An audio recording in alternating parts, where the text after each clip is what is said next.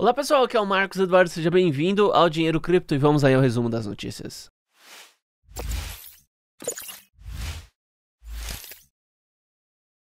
Golpista de transferência zero rouba 20 milhões de dólares em USDT e entra na lista negra da Tether.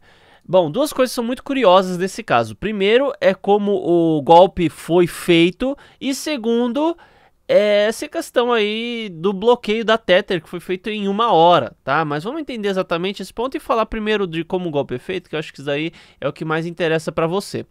O golpista, ele consegue um tipo de acesso à sua carteira que ele consegue fazer uma espécie de transferência zero, tá? Ele faz uma transferência da sua carteira para uma outra carteira de zero, né? Então é possível fazer isso, existe uma espécie de brecha que ele consegue transferir zero, né? Ele faz uma transferência zerada, você é, marca, é registrado na, na blockchain da Tether, enfim, que a transferência foi feita, aliás, na blockchain que estiver usando a Tether, enfim, e essa transferência ela só não tem moeda lá dentro, mas ela existe e o registro é realizado. Com isso, vai ficar um histórico na sua carteira, é, dessa carteira para onde foi transferido o dinheiro.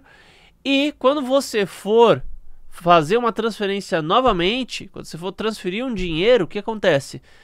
é, vai transferir para uma carteira que já está no seu histórico. Daí você vai olhar lá e falar assim: ah, não, beleza, está aqui dentro do, do histórico da última transação que eu fiz, então eu vou lá e transfiro. Né? Então, que, é, enfim, é, isso daí pode dar certo tanto quanto pode não dar certo, porque basicamente a pessoa ela pode conferir exatamente a carteira para onde ela está mandando, né? Olhando na tela original, por exemplo, ah, eu vou mandar para Binance ela pode conferir a carteira da, da Binance. Ah, deixa eu ver, é, é da Binance mesmo? Começa tá, tá, tá, tá, tá, tá, tá, tá, tá, assim, assim, assim, beleza. Daí, ela pode olhar no aplicativo. Ah, eu colei isso, tá escrito isso, isso, isso, isso corretamente? Beleza, ela só confere. Só que tem muita gente que não confere assim. A pessoa, ela olha em relação aos históricos, as últimas transações que ela fez e, no caso, esse hacker aqui conseguiu roubar 20 milhões de dólares em USDT da, da pessoa em questão e, né, com isso a Tether veio a bloquear. Você fala assim, nossa, mas a Tether agiu em uma hora, exatamente. É até estranho isso acontecer, tá? A Tether conseguiu fazer o bloqueio do dinheiro, aliás, o bloqueio da carteira, colocando ela em uma espécie de lista negra. E isso só reforça o fato de que a Tether é, e as stablecoins, no contexto geral, não são descentralizadas, né? Existem os projetos das stablecoins algorítmicas e tudo mais, mas assim, é, é, questionável esse negócio de ser descentralizado ou não. E de fato a gente sabe que a Tether não é. A, a as moedas em questão, né? A, a, as criptomoedas elas têm determinados graus de descentralização, mas verdadeiramente descentralizado é só o Bitcoin. E as stablecoins já estão em outra categoria. As stablecoins fazem parte desse nicho, fazem parte desse meio, mas elas não são criptomoedas. E a Tether tem total controle a respeito da sua carteira, do seu saldo. A hora que ela quiser, ela bloqueia. A hora que ela quiser, ela tira da sua conta. Ela movimenta, ela faz isso, já fez várias vezes isso no passado.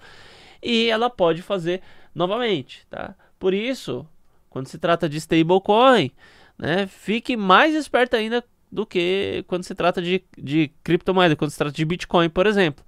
Porque as possibilidades de você sofrer bloqueios e ter problemas são bem maiores do que as possibilidades em torno de Bitcoin e criptomoedas tradicionais. Mineração de Bitcoin. Ações esfriam e mineradores enviam BTC para exchanges em preparação para o halving. Então a gente sabe que todo período pré-halving temos aí uma alta avassaladora do Bitcoin. O preço sobe pra caramba. Não é garantia que isso vai acontecer no próximo halving, mas todo mundo acredita que tal ação ocorra. Então, a gente está vendo um movimento dos mineradores começando a já mandar o dinheiro para as exchanges. Só que que tá o negócio, né? É muito cedo, porque o halving tecnicamente é em abril de 2024. Os caras já estão mandando dinheiro agora. O pessoal tá conectando e acreditando que sim, eles estão esperando aí qualquer, qualquer subidinha para assim que vê uma mínima alta, eles já saírem vendendo Bitcoin. E isso é algo negativo, porque quê? Se começar a vender muito antes, a gente não vai conseguir ver a alta. Mas é claro que a gente também não pode controlar ninguém. Falar assim, ah, não venda, não faça isso, nossa, não sei o que, né?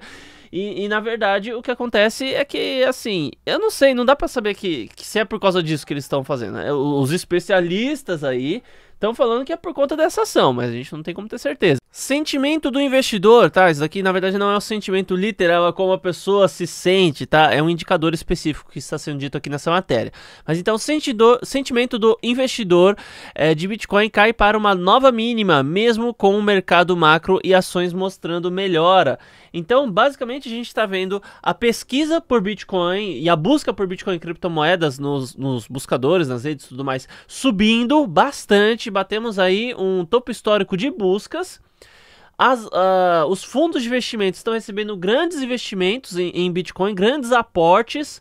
A gente está vendo a regulamentação crescendo, que o Bitcoin não precisa disso para existir, mas a presença da regulamentação incentiva novos investidores, os, os mais conservadores, aqueles que gostam da autorização do Estado para fazer as coisas.